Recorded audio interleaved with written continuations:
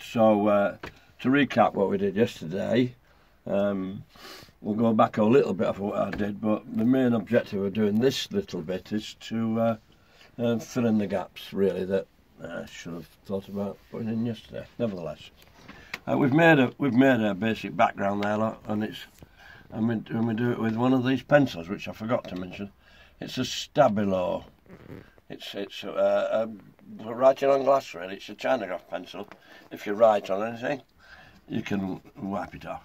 You can rub it off after you've done so. It's, they're very very good for uh, determining where you're going to put things. So, um, having painted the green ones uh, yesterday, these look a bit messy because um, these are not the ones that were done yesterday. They were done quite a while ago, but nevertheless, they are basically the same. So, I'm going to get some yellow paint, uh, and we're going to, what they call, you, can you um, see down here what I'm doing with this yellow paint? Um, it, what we call, it's called paletting really. The whole idea is to load the brush with the paint. Simple as that, okay? And I'm going to quickly emphasise again what the, this brush will do. Thick, thinner, uh, right down. Okay, imagine, imagine painting a fish from looking down on a fish, right? Can you imagine doing that? And then add in a little bit. Oh, and there he is. There's Bob the fish. So, having done the green yesterday, we're now going to add the little bits that go in the leaves. The idea is of putting this on the leaves is to actually start on the outside for the middle stroke and then add a couple like that. And then do the same for here and try not to make them all exactly the same otherwise you will it'll look square too square too symmetrical so when that one faces the middle maybe try to make that one so it faces that way understand and this is the same brush again and this one to go a little bit more like that, that it's similar to that one but it's not the same the whole thing will look better and then we can go back to there if you want. Don't worry about these strokes being perfect. It doesn't really matter and it won't be that critical. So there we are. We've got all these um, yellow bits in the leaves. I've got the round bit. These leaves are uh, obviously important to be there because they're part of the tradition. But um, but they, they pale into insignificance really when you manage to get some roses in there and daisies then they quickly fall into the background. So there's a brush and I, while I'm there I'll put a yellow centre, you can do it quite thick if you want and that way it's uh, yeah I'm, I'm doing what uh, Phil Speight would say titivated and um, and Dave Moore would say just gob it on. The traditional painters didn't have time to mess about. They had to get a boat out out earning money, didn't they? So we've got here, we've got drawing it out, we've got putting the leaves on, we've got putting a blue disc on there with a blue centre and yellow. Then we move on to doing the background bit. And for that I'm going to switch the board over. Hopefully it doesn't duck to something. Now we are switched over. Turn it over. Turn it round. And in true Blue Peter style here's some I prepared earlier I'm now going to do um, the yellow because I've got yellow on my brush I don't normally do yellow first, but it won't matter. We're going to do yellow and the red. Normally I do a red first. There's a reason for that. But we'll paint a, we'll paint a, now, paint a, uh, I'm not going to, I'm not going to do this at all, am I? I don't know why Said I would. I'm going to go back, step back a little bit. We're going to do this in a little while. Firstly, I'm going to give the brush a quick swizzle and just put it in the thinners for now. And quickly clean off this yellow off there.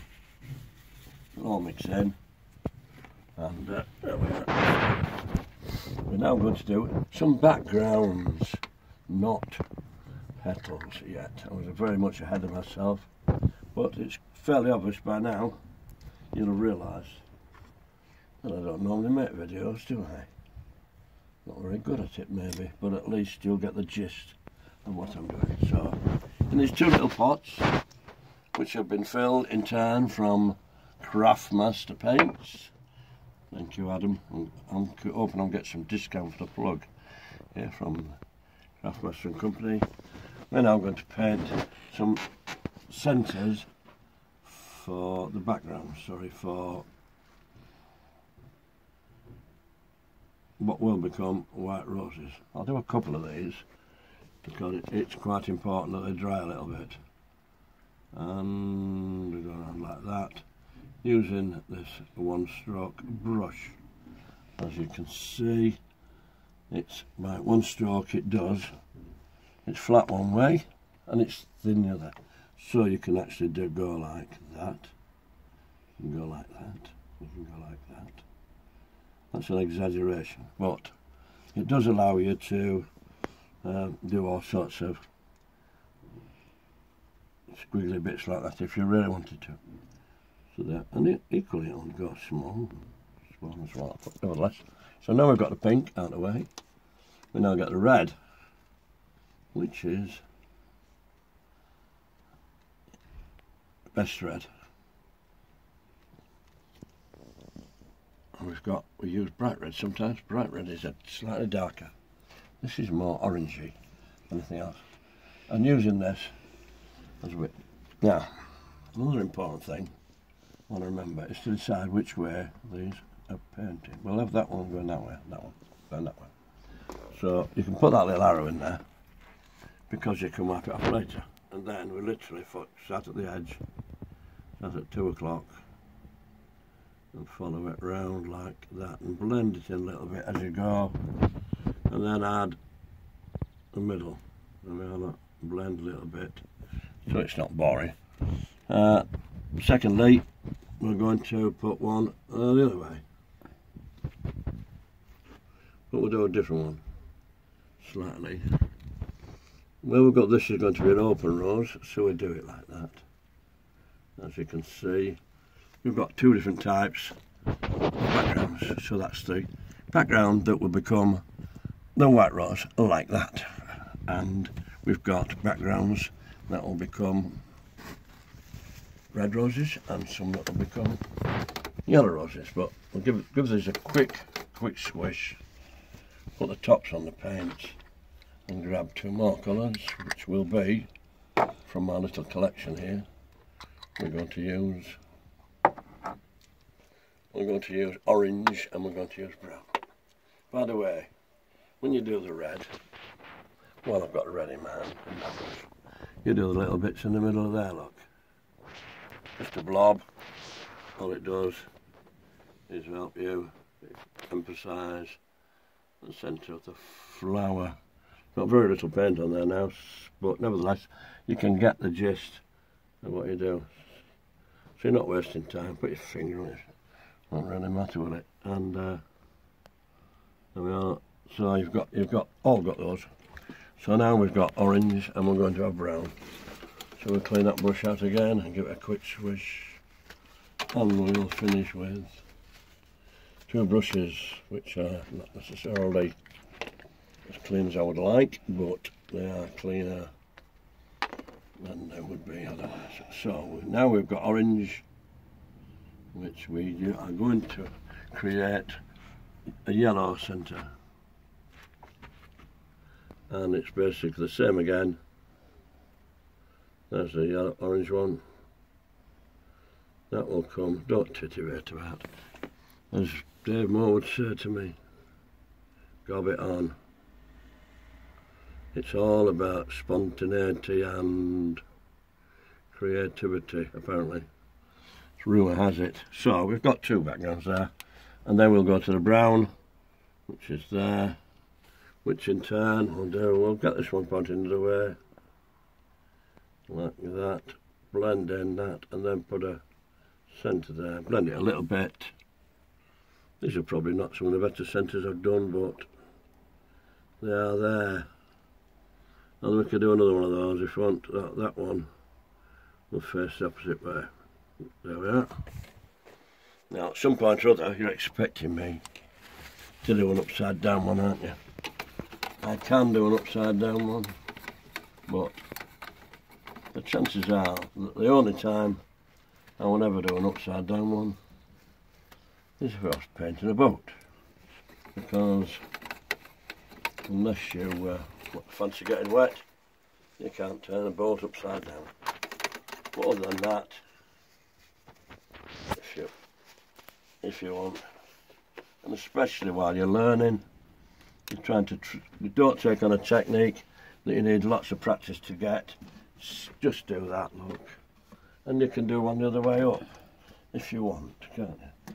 So, the next background to do is for the red rose, which in turn will envisage, entail, I should say, entail using uh, some brown again.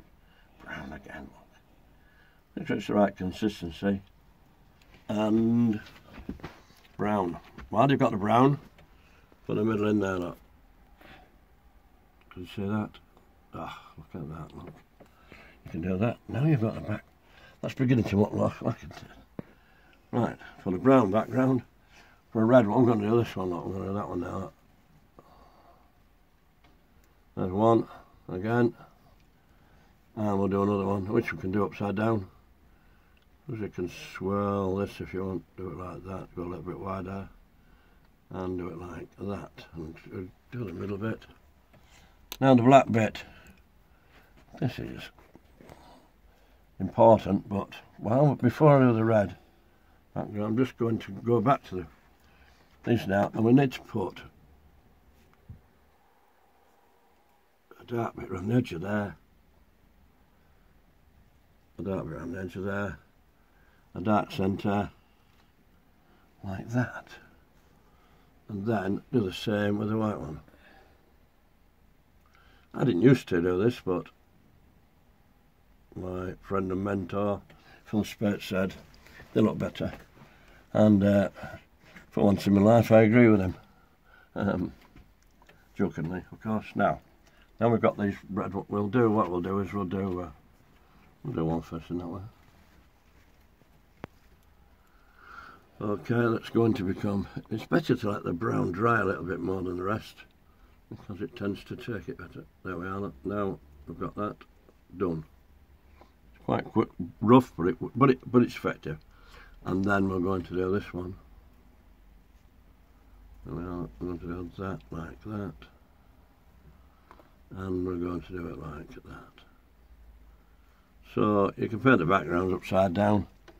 That doesn't take very long to learn at all. And while we've got the black, we'll put a black bit in the middle of there. We cut a little bit on there if you want. Don't forget I haven't got the yellow bits on there because I showed you how to do them earlier, didn't I? So there we are. We've got the backgrounds for the white rose. We've got the backgrounds for uh, yellow rose and we've got the backgrounds for red roses and again blue peter style here's some I did before look they're not white, but they've got the right bits on them so now I'm going to very quickly clean that off throw the brush in there along with that one and I will clean them later when I've finished and another thing it's very important to understand is that when you clean brushes, I, I clean mine, I clean mine my way, just like Frank Sinatra. I did it my way. I tend to do mine like this, normally. I'll, I'll quickly show you. In four little pots, look. They're actually cat food tins, but can you see there, look?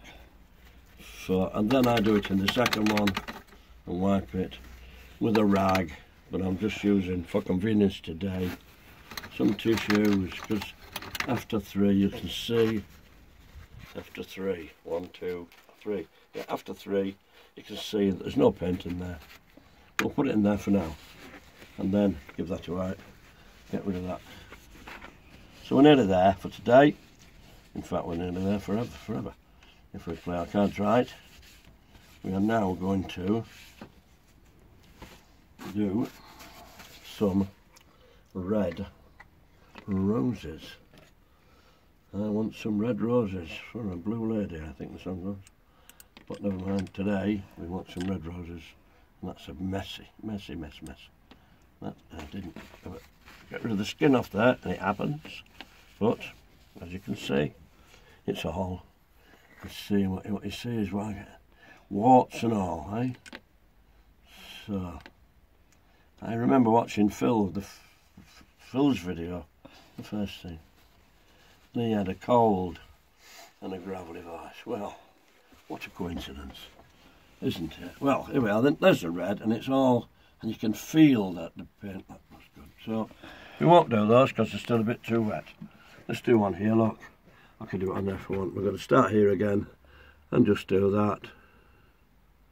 One. Then you're going to chuck this one in there. Look, not the best red rose I ever did by a mile, is it? But never mind, you'll get the gist of what that one should be around a little bit more. Then we'll do it one from that side like that. And, uh, yeah. yeah. It's not brilliant, but it's not, no point in rubbing it out, is there? Um, I hope, kind of hope, that that brush will be better than that. Let me just clean that one off a bit. Clean this one off. Just for you. best red again, clean the brush, put some red paint in there, and we'll do red again.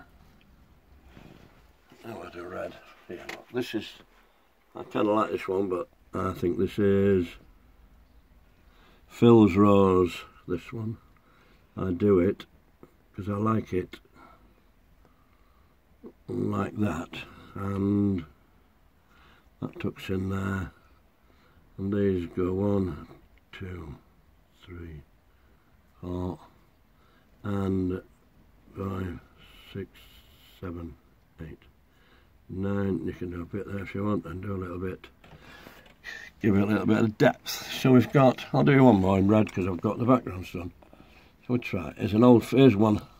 I don't do too often, but I'll do it anyway, provided I don't mess make a mess of it. it. It's two strokes down like that. One two from so then you chuck that in there and then you turn the brush and do that like so and then you can do those underneath you see what I mean that's it's another different style so so we've done three at least three different ones. We've got different ones for different things and I'll try one more before I just go back to ordinary ones. So um, I'll go back to this one and do a, uh, this one.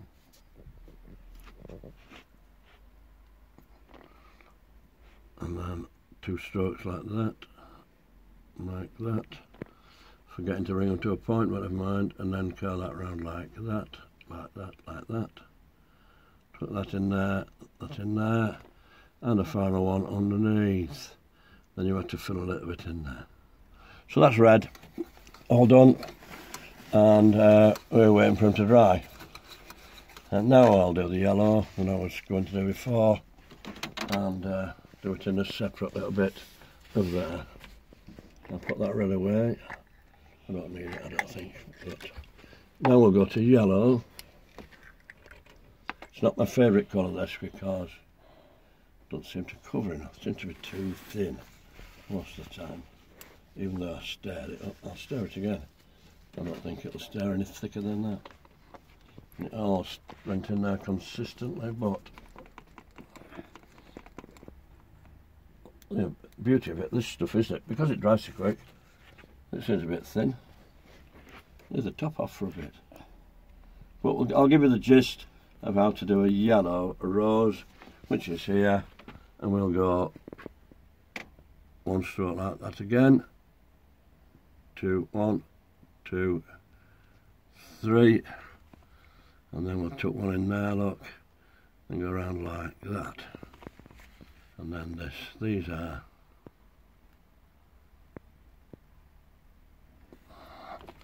These are Dave Moore roses. I call them Dave Moore roses because he taught me how to do them. He might be watching this thinking, they're not my roses.